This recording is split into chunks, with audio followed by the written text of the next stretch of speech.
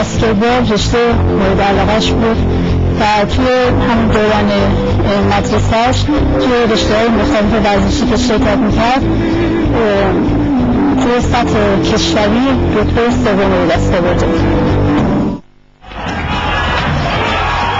بسکتبال یه بازی که توش تماس بازیکنان خیلی به هم نزدیکه.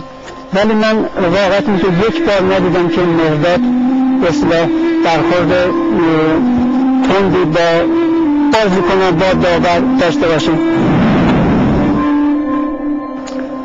یادم سال هفتاد و سه که منم برای اولین بار به عنوان بازیکن تیم بسکتبال آزارفس انتخاب شدم.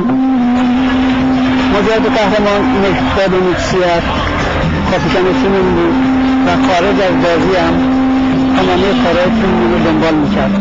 خود آمادگی های جسمی ما یعنی نرمش که باعث بکنیم می‌رفت خودش دنبال می‌کرد طرح تمرین در می آورد چند تا کتاب راجع به بسکتبال تهیه کرده بود که به زبان انگلیسی هم بود. بعد اینا را داده بود ترجمه کرده بودم آورد.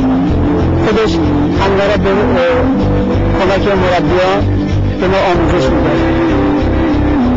این همه سلیقه و این همه دلسوزی واقعا برام خیلی آموزنده بود و همیشه به ما می‌گفت که بچه خیلی باید جدی بگیریم مسابقات صفر بازی کردن نیستش.